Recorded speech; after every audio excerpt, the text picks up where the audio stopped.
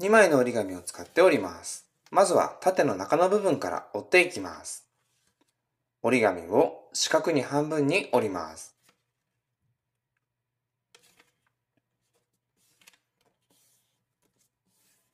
これを開いて、今ついた折り筋に下と上を合わせて折ります。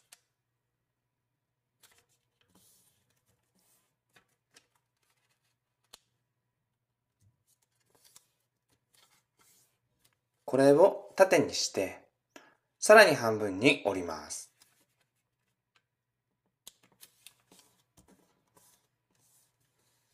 開いて、今ついた折り筋に下と上を合わせて折ります。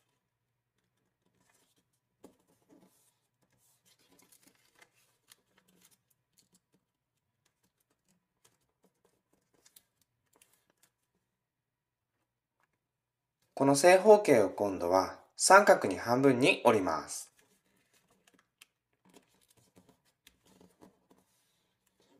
開いて90度回してこちら側も三角に半分に折ります。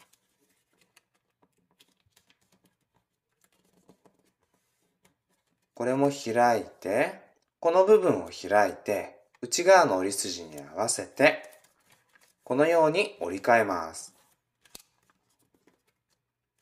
反対側も同じように折ります。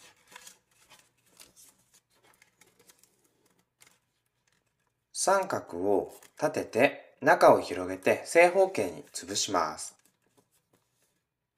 すべての三角を同じように折ります。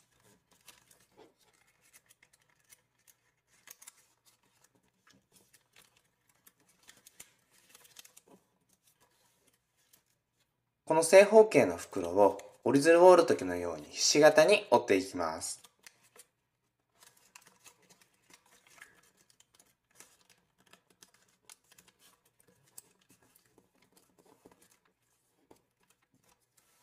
すべての正方形を同じように折ります。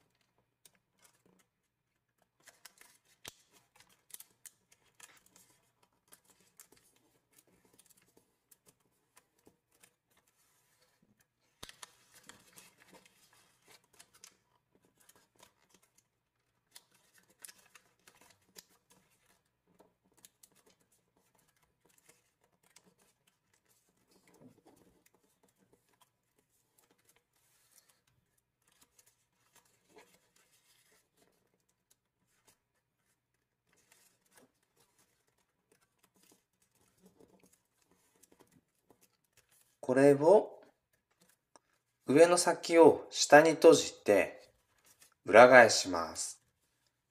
そして左右と下の角をこのように内側に閉じます。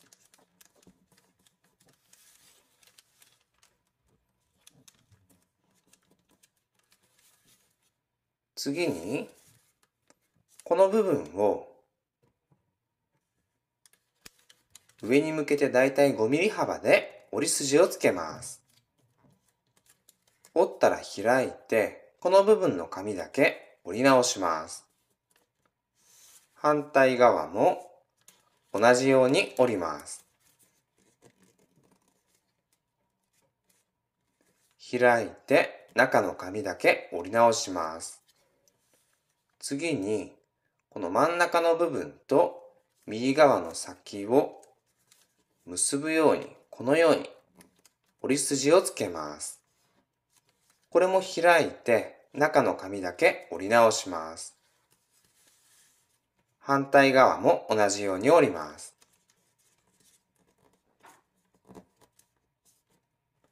開いて中の紙だけ折り直します。これを裏返してひし形の先をすべて内側に閉じます。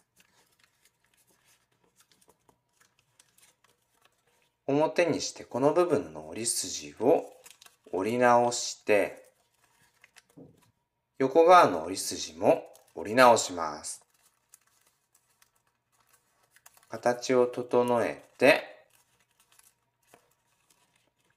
これで中の部分は完成です。次に縦本体の部分を折っていきます。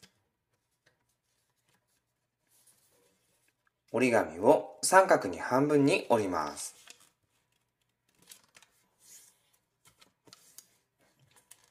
開いて90度回してこちら側の三角に半分に折ります。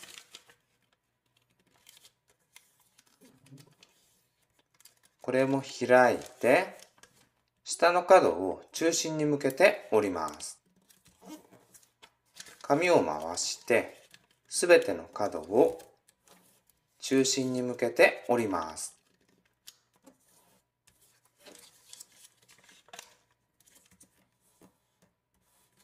次に下側の角を中心に向けてさらに折ってこれを裏返して横にします。下の角を中心に向けて折り筋をつけて開いて下の角を今ついた折り筋に合わせて折ります。これをさらに折り筋に合わせて半分に折ったら、それをこのように閉じます。上下ひっくり返して、こちら側も同じように折ります。中心に向けて折ってって、開いて、下の角を今ついた折り筋に合わせて折って、それをさらに半分に折って閉じます。次にこちら側の角を下の中心から斜めに両側とも折ります。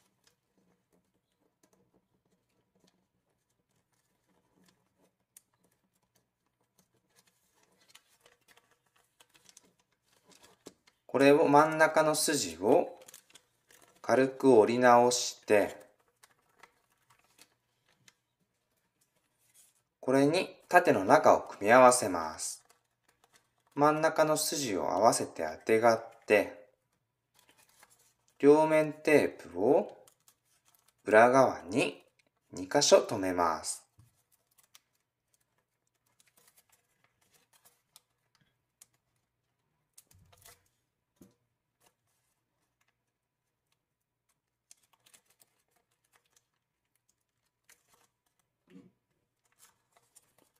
これを半分開いて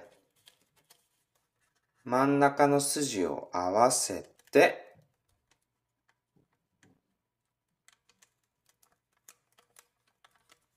この位置で